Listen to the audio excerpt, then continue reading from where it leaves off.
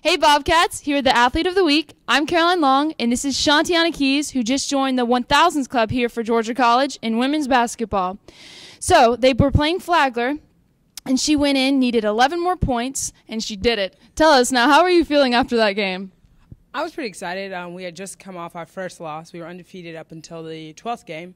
Um, so I was pretty pretty pumped, like ready to get back to winning because you know losing's not the most fun. So I was excited that we got that win, and uh, I guess more excited that um, that I joined the 1,000 point club. So yeah. That's awesome.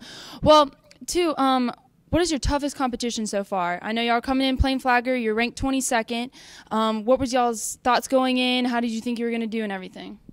Well, we were excited. We had just found out literally the night before around like midnight that we were ranked 22nd in the na- uh, nation. So we were pretty excited about that. Um, we actually took a lap around the hotel, uh, a few of us, but we went in and uh, uh, we were just excited. I mean, to be there. But our toughest competition so far has been North Georgia, and they're also in the top 25. And uh, we've taken two losses to them now, um, but the last one was pretty close. It was overtime, and I think the next time we play them, we'll have them.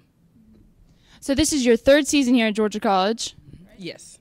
All right, and so how has this year maybe been different than other years, and how's the team bonding been in so far? Team bonding has been a huge role in our success. I think um, we're a lot closer this year. Um, as I was telling my other teammates, it's the only way to explain it is I could sit down with anyone on our team and have lunch, you know, and not feel awkward about that, or um, be able to carry a conversation, which I can't say for the other years. And so that's been exciting, and there hasn't been like a clique issue or anything like that. So that's been fun. And I think the other thing that's contributed to our success is just we're all out there, you know, ready to work and um, give in and play for each other. So that's been a huge role. Now y'all are playing a good stretch of home games coming up. Um, how you feel being back in Georgia College? Well, actually, we we play better on the road, but I mean, I'm excited to just um, improve, um, take the things that we've learned, like these last couple of games on the road, at home, um, and just you know work those things out to make us a better team going in Peach Belt. And uh, what's your toughest competition coming up now within the next few weeks?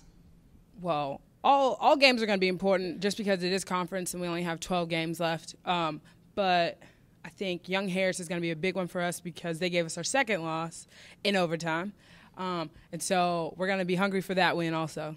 I bet. So, how many overtime games have y'all been to right now? two, and we're 0 for 2 right now. So we gotta we gotta change something up and uh, become more aggressive, I guess, in overtime and uh, not play on our heels because we've we've had the lead going into overtime. So the other team is the team with momentum. But um, actually, I think we forced overtime in North Georgia, or excuse me, um, here against Young Harris. But um, we we just have some things to iron out just to be more aggressive and take advantage of overtime. And what do you think was your biggest success so far? Y'all are 11 and 4, you said? 11 and 3. 11 and 3. So what do you think has been the biggest success as a team for y'all?